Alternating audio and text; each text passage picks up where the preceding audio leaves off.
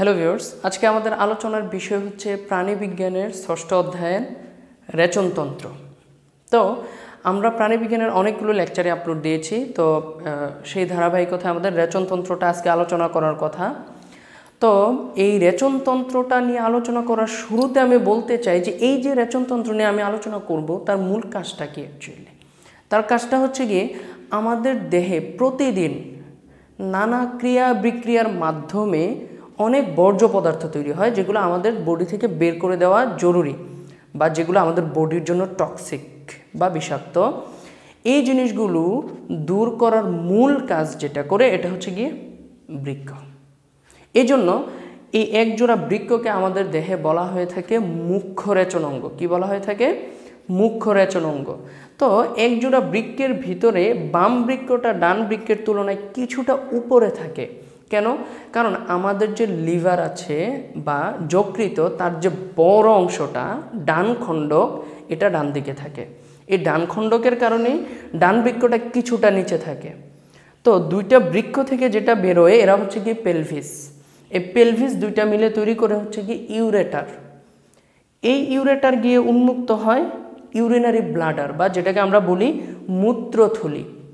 তো এই মূত্রথলি থেকে বের হয়ে হচ্ছে ইউরেথ্রা, বের হয়ে ইউরেথ্রা হয়ে আমাদের বডি থেকে বের হয়ে যায় টক্সিক পদার্থগুলো। তো এই হচ্ছে কি আমাদের মুখ্য রেচন অঙ্গ আর গৌণ রেচন অঙ্গের ভিতরে আছে যেমন হচ্ছে আমাদের স্কিন বা ত্বক, তারপরে হচ্ছে যকৃত এগুলো গৌণ রেচন অঙ্গে তারপরে আমাদের ফুসফুস, এগুলো গৌণ রেচন অঙ্গ হিসাবে কাজ করে। তো এগুলো হচ্ছে কি আমাদের রেচন অঙ্গের ইনিশিয়াল যেটা, তো আমাদের যে একজোড়া বৃক্ষ থাকে, এই একজোড়া বৃক্ষের ওজন পুরুষে মোটামুটি একশো পঞ্চাশ থেকে একশো সত্তর গ্রামের মতো, একশো পঞ্চাশ থেকে একশো সত্তর গ্রামের মতো, আর মহিলাতে হচ্ছে কি একশো তিরিশ থেকে একশো পঞ্চাশ গ্রামের মতো, কিছুটা কম। তো আমরা একটা বৃক্ষের ক্রস সেকশন নিয়ে আলোচনা কর- করব, এবং হচ্ছে গিয়ে আমরা জানি রেচনতন্ত্রের গাঠনিক একক হচ্ছে গিয়ে নেফ্রন। প্রতিটা কিডনিতে দশ থেকে বারো লক্ষ নেফ্রন থাকে। তো এর স্ট্রাকচারটা নিয়ে আমরা আগে একটু আলোচনা করি বৃক্ষের ক্রস সেকশনটা তোমরা দেখো। আসলে আমাদের লেকচারগুলো হবে ফিগার বেসড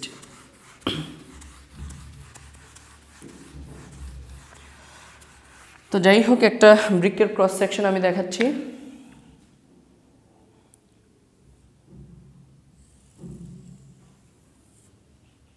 এই ধরো এটা হচ্ছে একটা বৃক্ষ, এটা আমি ডান বৃক্ষটা দেখাচ্ছি। তো ধরো এটা হচ্ছে একটা বৃক্ষ। তো বৃক্ষের দুইটা পার্ট থাকে। এই দেখো, এই যে বাহিরের অংশটা, আমি লাল মার্ক দিয়ে এর যে বাহিরের এই অংশটা, অর্থাৎ এই অংশটা, এটাকে বলা হয় কর্টেক্স কি বলে? কর্টেক্স আর ভিতরের এই অংশটাকে বলা হয় মেডুলা। তার মানে আমাদের বৃক্কের বাহিরের এই অংশটাকে বলা হয় কর্টেক্স আর ভিতরের এই অংশটাকে বলা হয় মেডুলা। ক্লিয়ার? তো এই মেডুলাতে আমাদের প্রায় আট থেকে আঠারোটার মতো পিরামিড থাকে। পিরামিড আকারের কিছু স্ট্রাকচার থাকে, তাদেরকে বলা হয় রেনাল পিরামিড। এইরকম প্রায় আট থেকে আঠারোটার মতো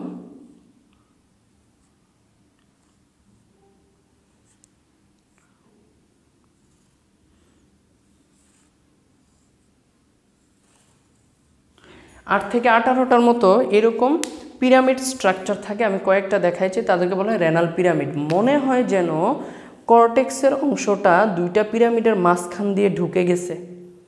এটাকে বলা হয় রেনাল কলাম তো এগুলোকে বলা হয় renal pyramid renal pyramid renal pyramid দুইটা রেনাল পিরামিডের মাঝখানে এই অংশটাকে বলা হয় রেনাল কলাম। Renal column. তারপরে দেখো, এই পিরামিডগুলো একটা স্ট্রাকচারের ভিতরে ঢুকানো থাকে। এই স্ট্রাকচারটাকে বলা হয় পেপিলা। এই যে মনে হয় যেন এই যে পিরামিডটা এই স্ট্রাকচারটায় ঢুকে গেছে, এই পিরামিডটা এই স্ট্রাকচারটায় ঢুকে গেছে, এটা এটাতে। তো এই স্ট্রাকচারগুলোকে বলা হয় পেপিলা। পেপিলা।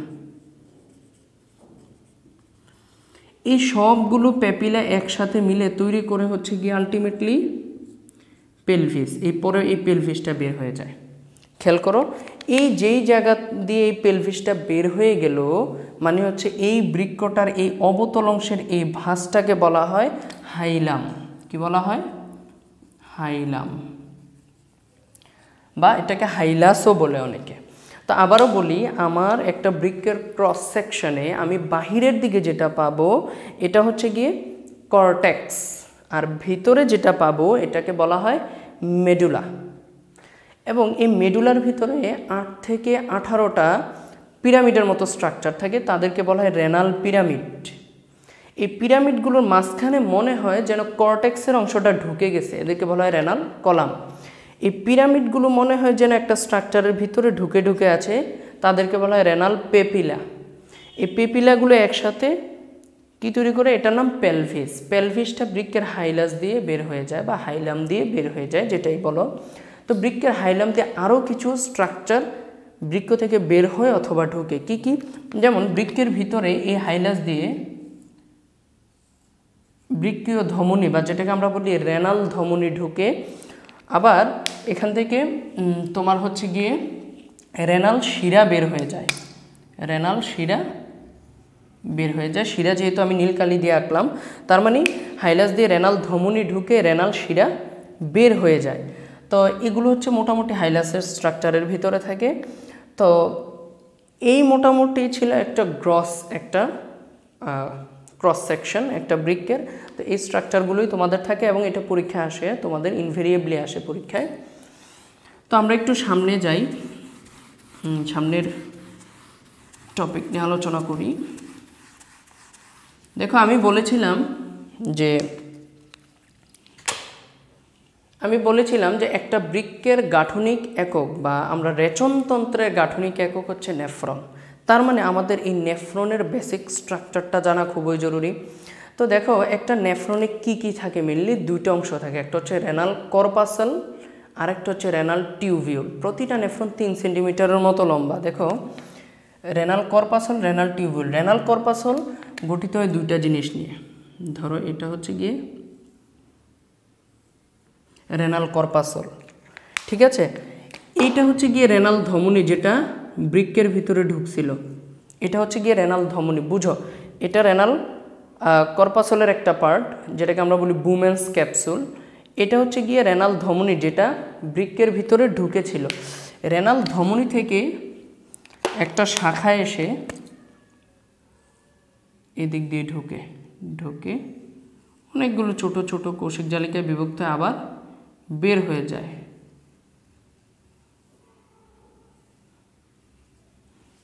তো যাই হোক, তো এটা হচ্ছে রেনাল ধমনী। এখান থেকে যেই রেনাল ধমনীর শাখাটা ঢুকলো নেফ্রনে এটার নাম হচ্ছে গিয়ে এফারেন্ট ধমনী। আগে বলে নেই, প্রতিটা বৃক্ষে দশ থেকে বারো লক্ষ নেফ্রন থাকে। তো এই নেফ্রনের স্ট্রাকচার দুইটা, একটা হচ্ছে গিয়ে রেনাল কর্পাসল আর রেনাল টিউবিউল রেনাল কর্পাসলে থাকে, এটা হচ্ছে গ্লুমেরুলাস লাল কালারের এটা হচ্ছে গিয়ে গ্লুমেরুলাস আর হচ্ছে গিয়ে এটা হচ্ছে বোমেন্স ক্যাপসুল এই গ্লুমেরুলাস আর বোমেন্স ক্যাপসুল মিলে একসাথে রেনাল কর্পাসল এই গ্লুমেরুলাস কি অ্যাকচুয়ালি গ্লুমেরুলাস কিছুই না, সে মূল রেনাল ধমনী, যেটা ঢুকছিল বলছিলাম বৃক্ষে, এই রেনাল ধমনের একটা শাখা মাত্র। তো যেটা নেফ্রনের ভিতরে ঢুকে এটাকে বলা এফারেন্ট ধমনী আর যেটা বের হয়ে যায় এটাকে বলা ইফারেন্ট ধমনী।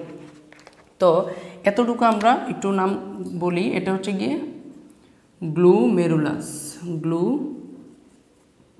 মেরুলাস আর এটা হচ্ছে গিয়ে বুমেন্স বুমেন্স ক্যাপসুল গ্লুমেরুলাস আর এটা হচ্ছে বোমেন্স ক্যাপসুল বোমেন্স ক্যাপসুলের পরে এই রকম পেঁচানো পেঁচানো নালি থাকে, তাদেরকে বলা হয় এটা।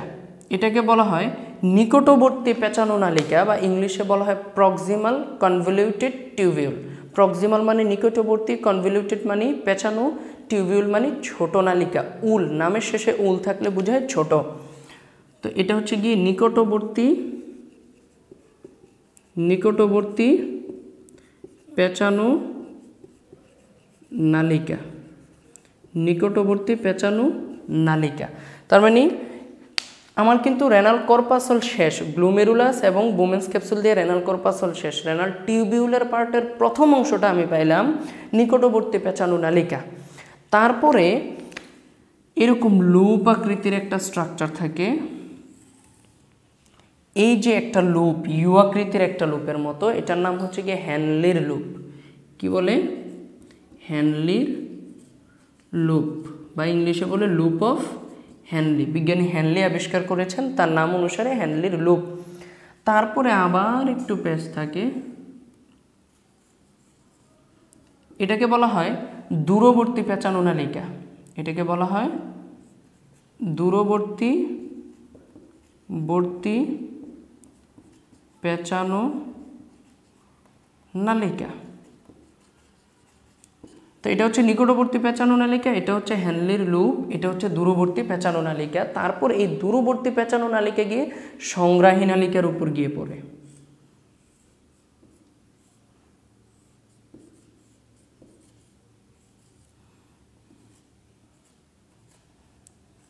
সংগ্রাহী নালিকা। এটার নাম হচ্ছে গিয়ে সংগ্রাহী নালিকা। যাই হোক, সংগ্রাহী নালিকা। তো মোটামুটি এটা হচ্ছে কি একেবারে গ্রস স্ট্রাকচার একটা নেফ্রনের। কী কী আমি আরেকবার একটু রিপিট করি? প্রথমে হচ্ছে গিয়ে এটা হচ্ছে গিয়ে রেনাল ধমনী। এখান থেকে একটা শাখা ঢুকলো। এটাও ধমনী। এই যেটা ঢুকলো, এটার নাম এফারেন্ট ধমনী। তারপরে ছোট ছোট কৌশিক জালিকায় ভাগ হয়ে বের হয়ে গেল ইফারেন্ট ধমনী। এটা হচ্ছে বোমেন্স ক্যাপসুল এই গ্লুমেরুলাস এবং এই বোমেন্স ক্যাপসুল মিলে হচ্ছে রেনাল কর্পাসল তারপরে হচ্ছে গিয়ে রেনাল টিউবিউল তার কয়টা পার্ট শুরুতে হচ্ছে গিয়ে নিকটবর্তী পেঁচানো নালিকা, এরপরে হচ্ছে গিয়ে হ্যান্ডলির লুপ, তারপরে দূরবর্তী পেঁচানো নালিকা, সে গিয়ে উন্মুক্ত হচ্ছে গিয়ে সংগ্রাহী নালিকায়। ক্লিয়ার এই হচ্ছে গিয়ে মোটামুটি একটা নেফ্রনের গ্রস স্ট্রাকচার দেখো, এবার রেনাল কর্পাসল নিয়ে একটু ডিটেলস আলোচনা করা যাক। রেনাল কর্পাসলের যেই লাইনিং এপিথিলিয়াম বলি আমরা, বা রেনাল কর্পাসলের এই যে মাঝখানে, এটা হচ্ছে গিয়ে গ্লুমেরুলাসের ত্বক গ্লুমেরুলাসের ত্বক, এবং এটা হচ্ছে গিয়ে বোমেন্স ক্যাপসুলের ত্বক। গ্লুমেরুলাসের ত্বকটা এবং বুমেন্স ক্যাপসুলের ত্বকের মাঝখানে একটু ফাঁকা ফাঁকা জায়গা থাকে, ঠিক আছে? তো গ্লুমেরুলাসের যে স্তর, এটাকে বলা হয় ভিসেরাল স্তর, আর বুমেন্স ক্যাপসুলের যেই লেয়ারটা বা স্তরটা এটাকে বলা হয় প্যারাইটাল স্তর। এবং এই প্যারাইটাল স্তরে অনেক ছোট ছোট ছোট ছোট এরকম অভিক্ষেপের মতো থাকে, তাদেরকে বলা হয় পোডোসাইট। তাদেরকে বলা হয় পোডোসাইট। ঠিক আছে? তো এই হচ্ছে গিয়ে বোমেন্স ক্যাপসুল তারপরে তো বললাম, নিকটবর্তী পেঁচানো নালিকা হ্যান্ডলির লুপ, দূরবর্তী পেঁচানো নালিকা, সংগ্রাহী নালিকা। দেখো, একটা সংগ্রাহী নালিকায় অনেকগুলো নেফ্রন এসে লাগতে পারে। এই এক, দুই, তিন, এরকম অনেকগুলো। আমি এগুলো দ্বারা এটাই বুঝেছি যে আরও নেফ্রন আছে, বিভিন্ন নেফ্রনের দূরবর্তী পেঁচানো নালিকা এসে একটা সংগ্রাহী নালিকায় লাগতে পারে। এরকম বৃক্কের ভিতরে অনেকগুলো সংগ্রাহী নালিকা মিলে একসাথে বড় একটা নালী তৈরি করে, এটার নাম হচ্ছে ডাক্ট অফ ব্যালিনি। আবারও বলি, ডাক্ট অফ ব্যালিনি, কি? অনেকগুলো সংগ্রাহী নালিকা বৃক্ষের ভিতরে একসাথে মিলে তৈরি করে, ডাক্ট অফ ব্যালিনি এই ডাক্ট অফ ব্যালিনি থেকে তৈরি হয় প্যাপিলা। প্যাপিলা থেকে আস্তে ক্রমান্বয়ে তৈরি হয় পেলভিস। পেলভিস থেকে আবার বের হয়ে যায় ওই যেটা বললাম শুরুতে, ইউরেটার হয়ে, ইউরিনারি ব্লাডার হয়ে ইউরেথ্রা হয়ে বের হয়ে যায়। এই ছিল স্ট্রাকচার, একটা গ্রস স্ট্রাকচার, একটা নেফ্রনের। তারপরে তোমাদের আরও আলোচনা করার মতো তেমন কিছুই নেই। তারপরে আমরা ফাংশনগুলো আলোচনা করার সময় আরও কিছু ডিটেলস স্ট্রাকচার তোমাদের দেখাবো এখানে বৃক্ষের তো আমি জাস্ট একটু একটা বৃক্ষের কি কি কাজ এগুলো আমি সহজে তোমাদের একটু বোঝাই। যেমন ধরো বৃক্ষ যেহেতু তোমার বডি থেকে টক্সিক বা বিষাক্ত পদার্থগুলো দূর করে দিচ্ছে, তার মানে এটা তো তার একটা কাজ যে বিভিন্ন বিক্রিয়ায় উৎপাদিত টক্সিক বা বিষাক্ত পদার্থ দেহ থেকে দূর করা হচ্ছে বৃক্ষের একটা কাজ। দুই নম্বরে সে আমাদের বডিতে পানির ভারসাম্যতা রক্ষা করে। পানির ভারসাম্যতা রক্ষা করে। প্রথমে হচ্ছে গিয়ে টক্সিক পদার্থ দূর করে দেয়, এটা আমরা জানি। টক্সিক পদার্থ দূর করে। দূর করে। দুই নম্বর হচ্ছে গিয়ে পানির সমতা রক্ষা করে। এখন কোশ্চেন হচ্ছে ভাই, পানির সমতা কীভাবে রক্ষা করতেছে? দেখো, আমাদের বৃক্কের মূল কাজটা হচ্ছে মূত্র তৈরি করা। আমাদের বডিতে যে রক্ত আছে, প্রতি মিনিটে একশো পঁচিশ সিসি রক্ত আলট্রা ফিল্ট্রেশন হয়। নেফ্রনে কিন্তু প্রথমে আলট্রা ফিল্ট্রেশন বা ফিল্ট্রেশন হয়।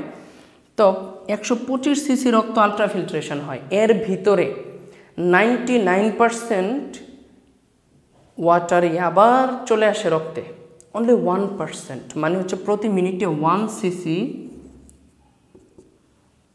ব্লাড মানে ওয়ান সিসি ব্লাড ফিল্ট্রেশন হয়ে যতটুকু পানি আমরা পাই মানে যতটুকু পানি উৎপন্ন হয় ওইটাই ইউরিন হিসাবে তৈরি হয়। তার মানে হচ্ছে একশো পঁচিশ সিসি ব্লাড আলট্রা ফিল্ট্রেশন হলেও মাত্র ওয়ান সিসি মূত্র প্রতি মিনিটে তৈরি হচ্ছে আমাদের।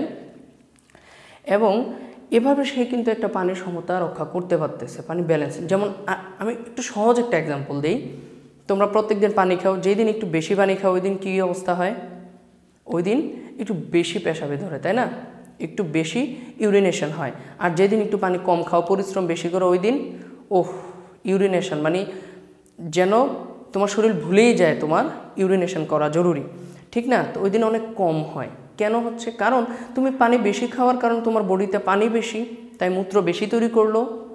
অথবা তুমি পানি কম খেলে, পানি তোমার বডিতে পানি কম, তাই কম মূত্র তৈরি করলে। এভাবে পানির একটা ভারসাম্য রক্ষা হয়।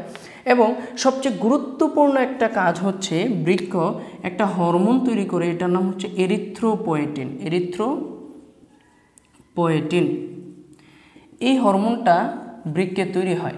এই হরমোনটার কাজ হচ্ছে এটা স্টিমুলেশন দেয়। হরমোনের কাজ কি সে স্টিমুলেশন দেয়। কিসে? কিসে স্টিমুলেশন দেয়? এরিথ্রোপোয়েসিস এরিথ্রোপোয়েসিস মানে কি?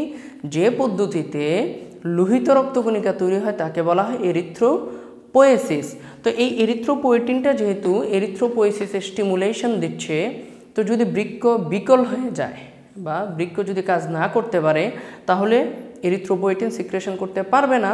এরিথ্রোপোয়েসিস হবে না, লোহিত রক্তকণিকা তৈরি হবে না, তার মানে তুমি রক্ত শূন্যতায় ভুগবা, এনিমিয়ায় ভুগবা। খুব গুরুত্বপূর্ণ একটা কাজ। বৃক্ষ আরও কি করে? একটা এনজাইম সিক্রেশন করে, যেটাকে আমরা জানি রেনিন।